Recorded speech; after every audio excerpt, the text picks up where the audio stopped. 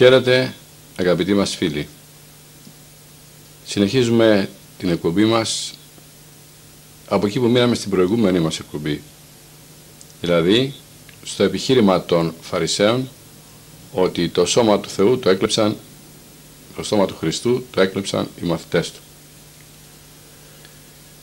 Ε, δεν στέκει αυτό το πράγμα διότι πρώτα πρώτα το φύλαγαν 18 18 ε, Ρωμαίοι στρατιώτες.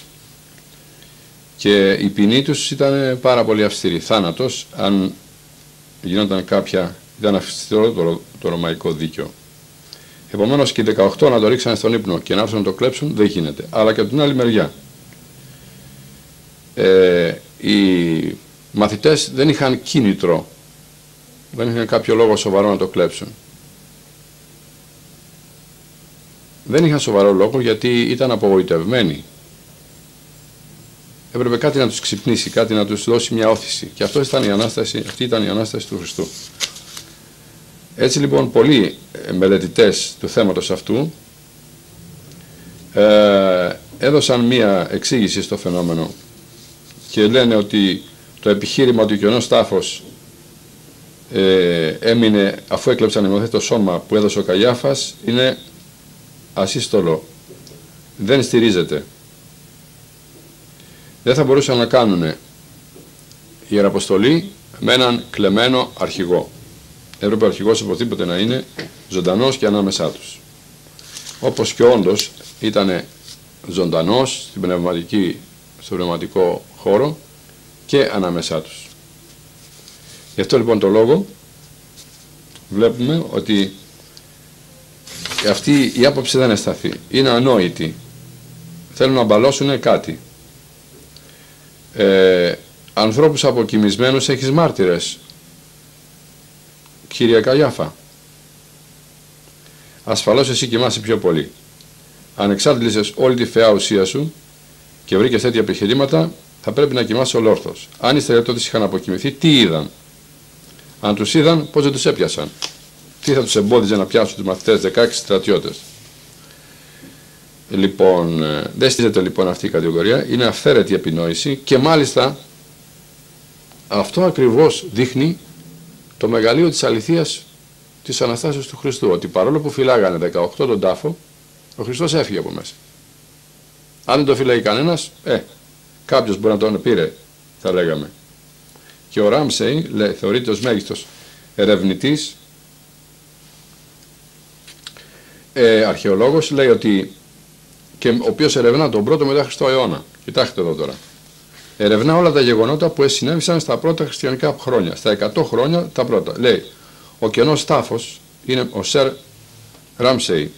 Λέει, ο κενός τάφο, Εγγλέζος ε, αρχαιολόγος. Ο κενός τάφο είναι τόσο μεγάλο γεγονός που δεν επιτρέπεται να το προσπεράσεις απλά και εύκολα. Εγώ πιστεύω στην ανάσταση του Χριστού για πολλούς λόγους. Μιας ήταν ιστορικό, μία σαν ιστορικός, κυρίως εξαιτίας του καινού τάφου. Και πιστεύω ότι είναι αδύνατο να εξηγήσει κανείς με τρόπο διαφορετικό και να πεις λογικά πώς ευρέθη ο τάφος του Ιησού κενός. Πρώτον, διότι εφρουρείτο. Δεύτερον, διότι οι Φαρισαίοι τον ήθελαν εκεί, έξω δηλαδή από την πόλη, από τα σύνορα, για να μην δυσφημίζεται το μέρος τους με τον τάφο του Χριστού, όπως πίστευαν. Ε, δεύτερον, οι μαθητές τον ήθελαν ζωντανό, δεν ήθελαν να τον εκλέψουν πεθαμένο, τον Χριστό. Δεν είχε κανένα λόγο να θέλουν να τον εκλέψουν πεθαμένο.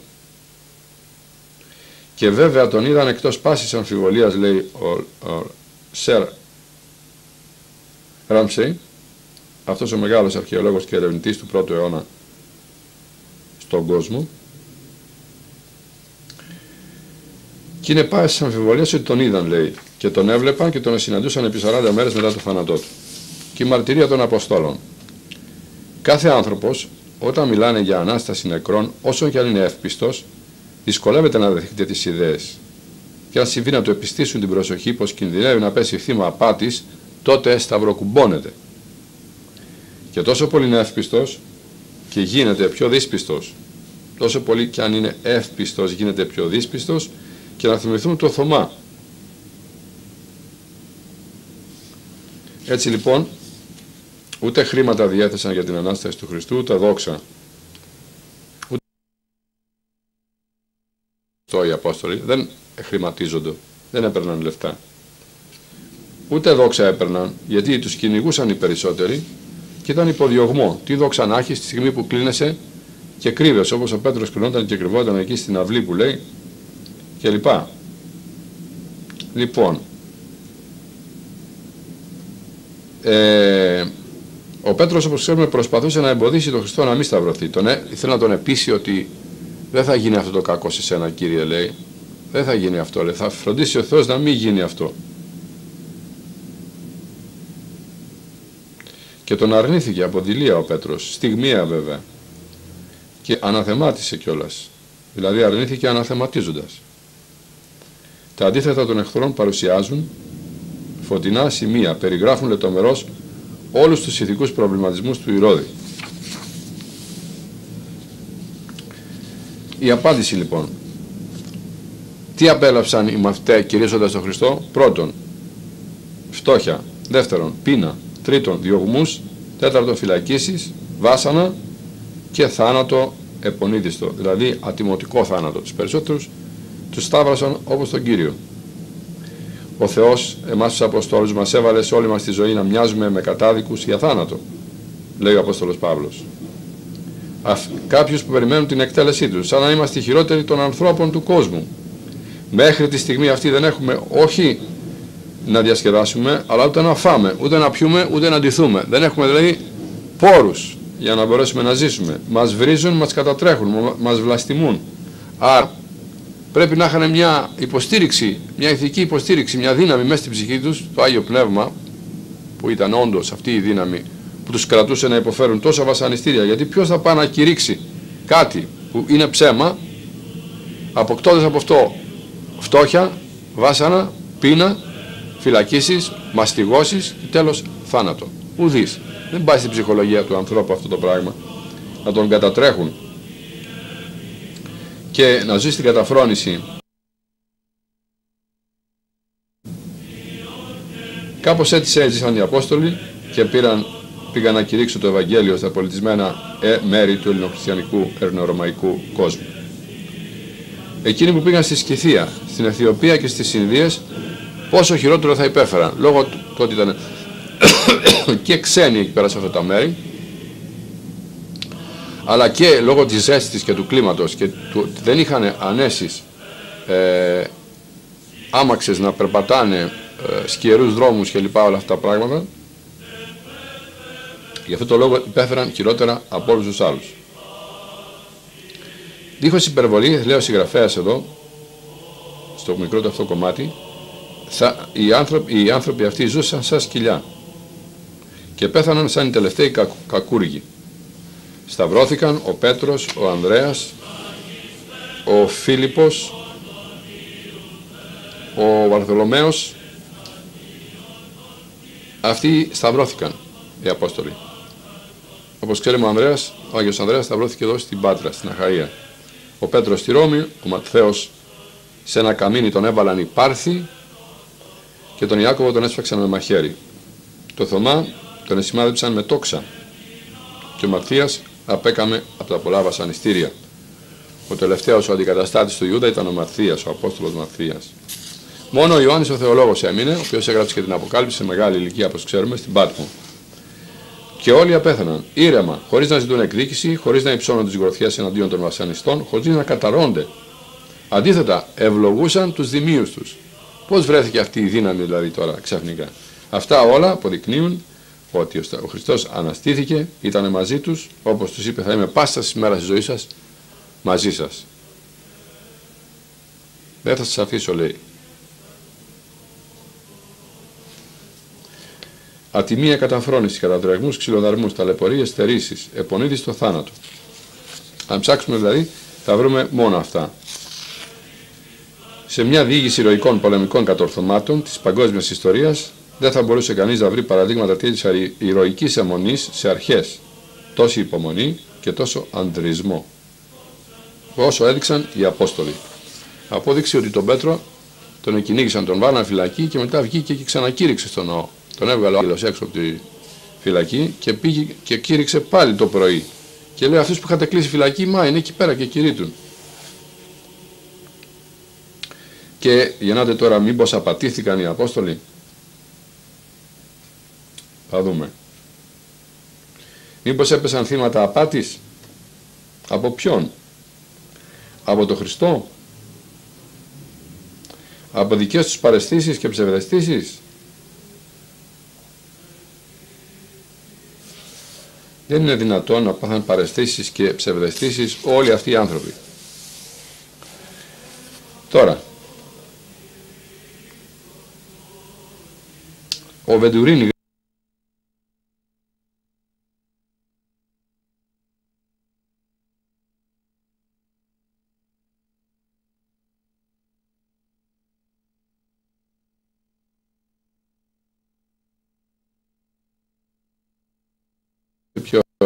ποια εποχή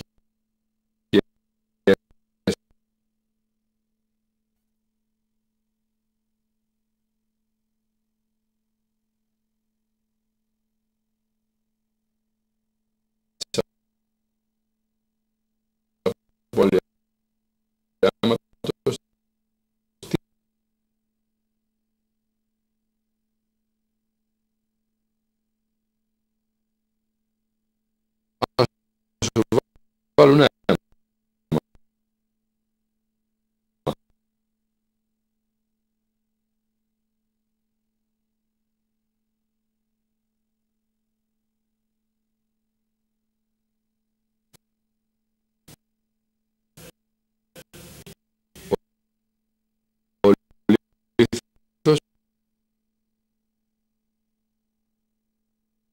γιατί ήθελε μεγάλη μυϊκή δύναμη. Δεν μπορούσε ένας άνθρωπος εξαντλημένος σαν τον Χριστό να κινήσει. Την εκδοχή ότι μπορούσε επειδή ήταν θεάνθρωπος ο Χριστός τότε θα μπορούσε να κυλήσει πραγματικά το λίθο και να βγει. Αλλά δεν θα μπορούσε να περπατήσει θα ήθελε περίθαλψη. Αυτό δεν μας το λέει ο κύριος Βεντουρίνη. Κύριε Βεντουρίνη ήθελε ο Χριστός περίθαλψη γιατί είχε πάθει μεγάλη ζημιά, είχε τρυπήσει το πνευμόνι του. Λοιπόν, όταν τρυπάει το πνευμόνι ενός ανθρώπου, δεν μπορεί αυτός ο άνθρωπος να περπατήσει.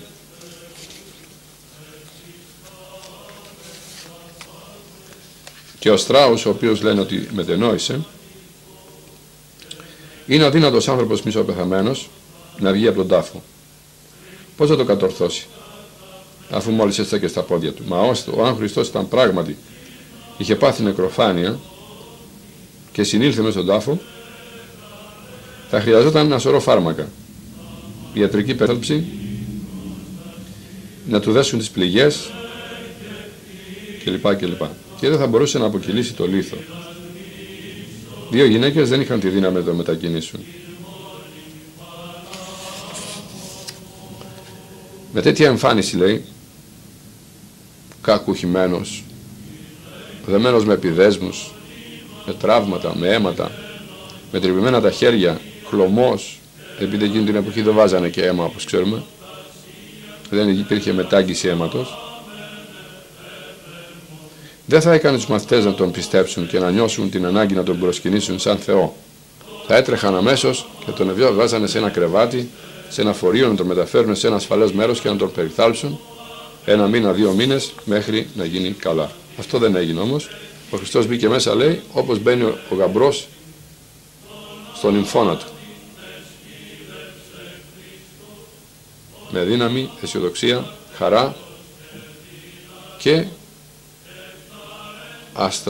αστραφτερή όψη. Λοιπόν, ιατρικός αποκλείεται κατά τον τρόπο που σταυρώθηκε ο Χριστός όπως λένε τα Ευαγγέλια, αποκλείεται ο Χριστός να ανένυψε μόνος του.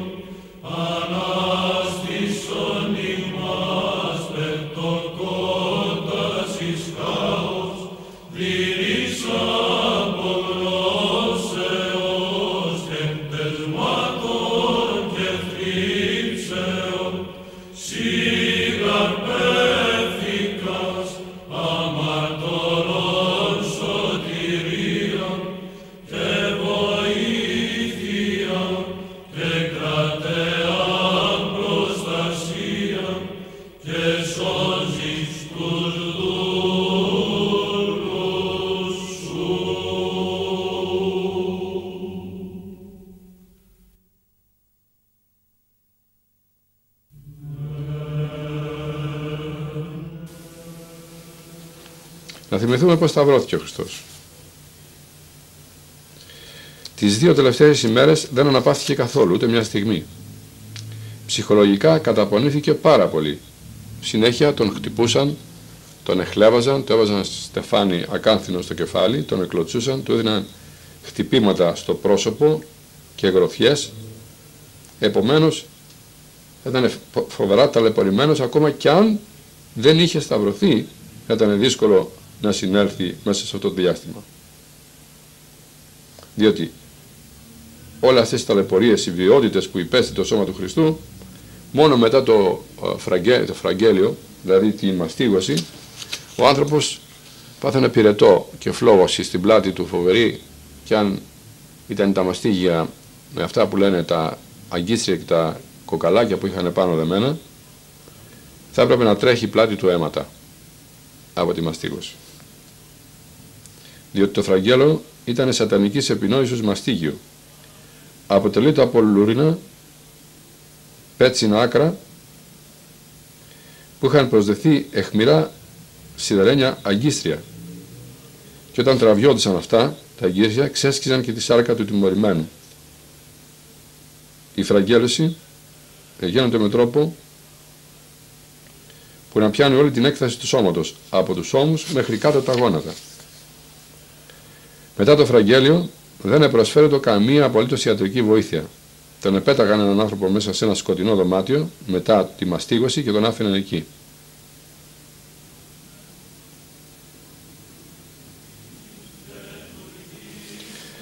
Πώς πέθανε λοιπόν ο Χριστός στο Σταυρό, σύμφωνα με τον καθηγητή Αναισθησιολογίας της Ιατρικής στο Πανεπιστήμιο Θεσσαλονίκης, Σπυρίδωνα Μακρύ, δεν ξέρω αν ζει ο άνθρωπος, αν ζει καλή τώρα, ε, το 1981 με σχετικές μελέτες από διάφορους άλλους συγγραφείς που πήρε και αυτός και σκέφτηκε και ο ίδιος λέει το αν ο Χριστός πέθανε πάνω στο Σταυρό είναι θέμα που έχει απόλυτη συνάφεια με την επιστήμη της ιατρικής. Γιατί αυτή μελετάει τη φύση και τις συνέπειες όλων των σωματικών κακώσεων που επιφέρουν τη βαθμία κατάρρευση των ζωτικών λειτουργιών του σώματος και αυτή διαπιστώνεται αν έχει επέλθει ο θάνατος. Για πρώτη φορά στην ιστορία αμφισβητήθηκε αν ο Χριστός είχε πεθάνει στο Σταυρό κατά τον 17ο αιώνα. Μέχρι τότε δεν είχαν αμφισβητήσει κανένας ότι πέθανε στο Σταυρό. Πότε να πέθανε ο Χριστός; Ασφαλώς στο Σταυρό πέθανε γιατί και οι κακούργοι στο Σταυρό πέθαναν. Μάλιστα πρώτος πέθανε ο Χριστός και μετά πέθαναν οι δύο ληστές. Επομένως έχουμε όλο αυτό το, το θέμα ε, μπροστά μας. Ο θάνατος του Σταυρό, εάν δεν είχε επέλθει από αιμορραγία, με τα καρφιά, ξέρετε, τόσες πληγές, τέσσερις πληγές, δύο στα χέρια, δύο στα πόδια και μία στο πλευρό, πέντε πληγές ανοιχτές, οι οποίες έτρεχαν αίμα. Εάν δεν πέθανε λοιπόν από εξάντληση, λόγω του ότι έφυγε το 1 τρίτο του αίματος, τουλάχιστον του Χριστού, διότι και το 1 τρίτο του αίματος αν φύγει, σε σύντομο χρονικό διάστημα, δεν προλαβαίνει ο οργανισμός να αναπληρώσει από το μεσοκυτάριο χώρο και από άλλες πηγές να πάρει υγρά και να τα φέρει μέσα στο καρδιακό σύστημα ώστε να μην πέσει πίεση και να μείνει ο άνθρωπος αλόβητος. αλλά σταδιακά πέφτει η πίεση, ασφικτιά το σώμα και ο εγκέφαλος δεν, δεν τρέφεται από αίμα και νεκρώνεται και πεθαίνει ο άνθρωπος. Λοιπόν, αν ο αθάνατος υπήρχε από αιμορραγία που είναι πολύ φυσικό, θα προήρχε, αν δεν πέθανε από αιμορραγία ο Χριστός θα πέθανε από ασφυξία. Διότι με τον τρόπο που αναρτείται το σώμα στο σταυρό δεν υπάρχει περιθώριο να μπορέσει ο άνθρωπος να κάνει αυτή την αναπνευστική λειτουργία. Δεν έχει δυνάμεις και αν στην αρχή μπορεί να το κάνει μετά σιγά σιγά σιγά φθήνουν οι δυνάμεις του όπως κρέμεται από τα χέρια και στο τέλος σταματάει να αναπνέει. Έτσι προκαλείται θάνατος από ασφυξία. Λοιπόν, ή το ένα ή το άλλο ήταν τα πιο πιθανά πράγματα ιατρικώς να καταλήξουν και αν δέσουμε έναν άνθρωπο, λέει, υγιή και σωματώδη από ένα σκηνή, από την οροφή και του δέσουμε τα χέρια και τον εκρεμάσουμε, τον αναρτήσουμε να μην ακουμπάνε τα πόδια του ένα μέτρο από το έδαφος, θα δούμε ότι αυτός ο άνθρωπος σιγά σιγά θα αρχίσει να ε, έχει πρόβλημα στην, στην αναπνοή του. Δεν θα μπορεί να εκπτύξει το θώρακά του για να τραβήξει εισπνοή, να πάρει αέρα μέσα στους πνεύμονες. Θα πέφτει σιγά σιγά η εισπνοή του, ενώ το μαρτύριο όπως είναι δεμένο θα αυξάνεται και η αγωνία και θα, θα απαιτούν περισσότερο οξυγόνο. Έτσι λοιπόν βαθμία θα βλέπουμε ότι αυτός ο θάνατος, ο άνθρωπος προσπαθεί να κάνει έλξεις με τα χέρια του, να σηκωθεί, να αναπνεύσει και να ξανακατέβει. Και αυτό βέβαια είναι μαρτυρικός θάνατος, διότι σιγά σιγά σιγά σιγά εξαντλείται και μετά από, ανάλογα με την δύναμη που έχει κάθε σώμα, κάθε άνθρωπος, εάν είναι νέος και εύρωστος και αθλητικός αυτός, μπορεί να κρατήσει και 20 λεπτά. Αλλά συνήθως σε 5-10 λεπτά οι άλλοι άνθρωποι δεν μπορούν να κρατήσουν έτσι, σε αυτή την στάση, με τα χέρια κρεμαστή, κρεμασμένη από τον ταβάνι. Πόσο μάλλον να πάθουν και αιμορραγία από την πλάτη και από τις πληγές. Λοιπόν, αυτή η εξήγηση μας δίνει ότι ο Χριστός πεθαίνει και από ασφυξία, αν δεν πέθανε από αιμορραγία. Ε, οι Σταυρωμένοι πέθαναν από ασφυξία, μας πληροφορεί η ιατρική επιστήμη, σε πολλές περιπτώσεις. Πιστοποιήθηκε ότι ο Χριστός πέθανε στο Σταυρό. Πιστοποιήθηκε με ιατρικά έγκυρο τρόπο οι Ρωμαίοι λεγιονάροι στρατιώτες, επαγγελματίες σκληρών τιμωριών, ήξεραν πότε ένας τιμωρημένος είναι λιποθυμισμένος και πότε πραγματικά πεθαμένος. Παρακολουθούσαν την άσκηση της εκτελέσεως να γίνει τέλεια, όπως πρέπει δηλαδή, όπως είχαν διατάξει, διαταγές ήταν αυτές. Ο νόμος όριζε ότι ο αρμόδιος στρατιώτης επιστοποιούσε το θάνατο που είχε επέλθει πράγματι. Όταν έκανε παράβαση αυτού του καθήκοντος, καταδικαζόταν αυτό σε σταύρωση λόγω κακής εκτελέσεως του καθήκοντός του. Άρα λοιπόν αυτοί οι στρατιώτες